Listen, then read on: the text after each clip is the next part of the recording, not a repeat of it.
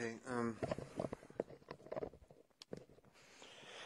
this is in response to the question: Is um, would you br- give us a brief summary of when the individual songs on Niandra and Smile were recorded?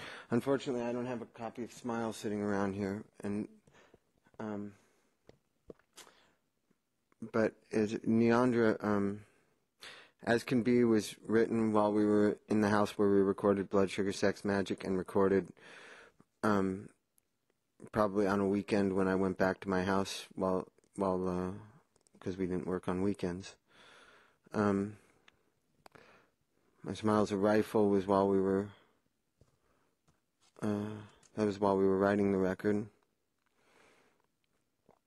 Head uh, Beach Arab was written when I was uh, 16 years old, and it was originally written as a heavy metal song and uh, I did the version of it that I did on Niandra. Um, just went a different direction with it. Um, that that was also recorded probably pretty early on in the writing process of Blood Sugar. Big Takeover was also recorded during the writing. Curtains was at that time my only song I had written on piano, and that was written during the writing of it. Running Away Into You was recorded after I had quit the band.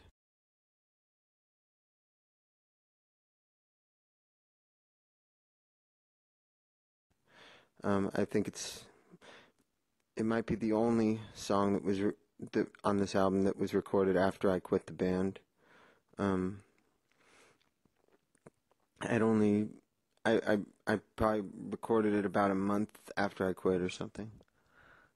Um, mascara was while we were writing, and the the day after I recorded that song, I met uh, the mascara snake from Captain Beefheart and the Magic Band, and I think that's why I called it mascara. Um, I felt that there was some kind of connection between the the experience of meeting him and the lyrics to the song. Uh, Been Insane was recorded during the writing of it. Skin Blues was recorded during the writing of it. Your Pussy's Glued to a Building on Fire was written at the house where we recorded Blood Sugar Sex Magik and recorded on a weekend when I when I went back to my house.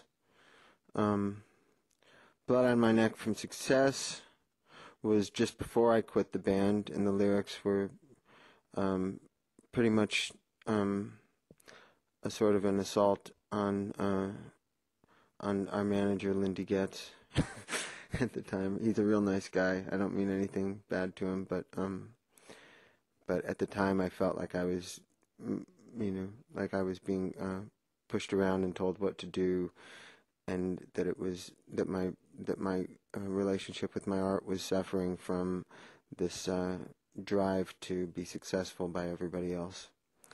Um, Tender Butterblood Voodoo um, is uh, was recorded during the writing of it, and I was uh, I seem to remember being pretty happy at that time. I believe that uh, I was I remember being on heroin when I played the guitar solo. um, usually, just a T-shirt was recorded in the order that it appears um, on the record. So uh, the the earliest things on it r- were recorded during you know during the writing process of Blood Sugar, and the last things recorded on it were just before I quit the band. Um, and I always uh, I think it's interesting in that you can you can hear the um, the decline that I was going on inside.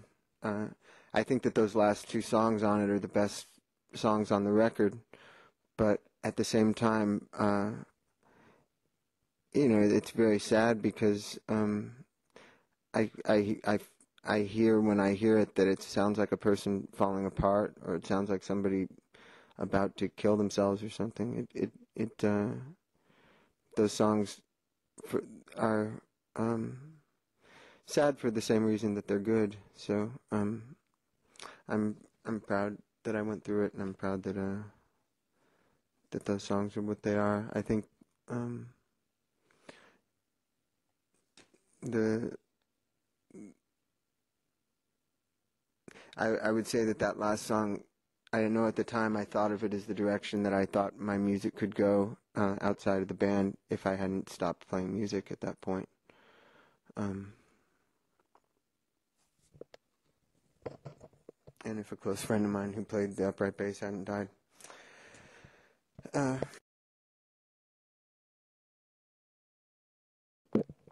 all the songs on Niandra Lades were all recorded in my living room at 8505 Hollywood Boulevard, at Hollywood Boulevard and Kings Road in the hills. Um, yeah, everything, everything was recorded in the living room.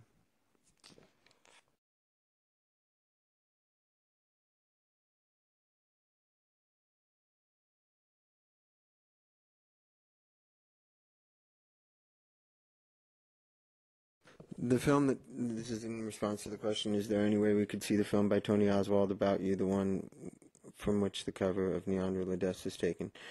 Could you tell us about it? Um, she definitely finished the film just recently, uh, and it had remained unedited for a long time, but it was made at that period of time around 1992, I guess, um, or 93, and um, I guess 92, and and. Uh, it's um, it's a film inspired by the ideas of Marcel Duchamp that she she was with me when we were touring in Europe for Blood Sugar Sex Magik, and I guess I was sitting there doing a lot of thinking and she was always writing in her notebook and she was coming up with this idea for this movie. And so I was playing Marcel Duchamp's alter ego, um, Rrose Sélavy, as well as um, as well as somebody who pushes her out of a door with another friend of mine. Um, the film was just shown recently at the Viper Room. Um, they had a film night and they showed that. And um, I don't know if there will ever be any sort of a release of it or anything. Um, see, this is in response.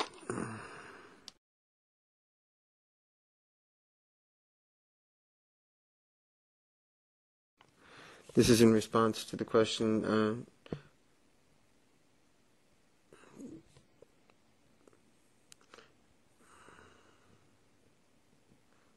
What bottle do you carry around during all the Funky Monks video, and why do you brush your teeth so much?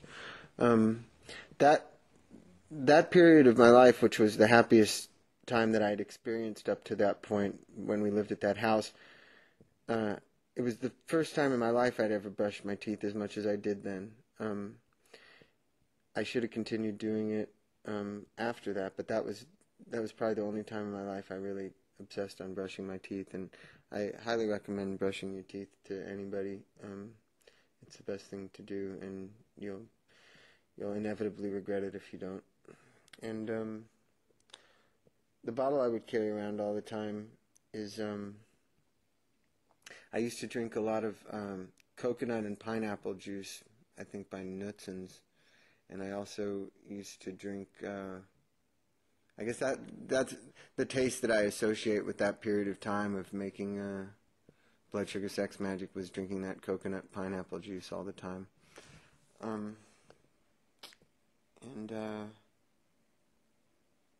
what else would I drink? I guess you know I would drink like cranberry juice. Oh, and there was also she used to buy this pineapple coconut um, banana juice that was also good. Or no, just maybe pineapple banana. And um,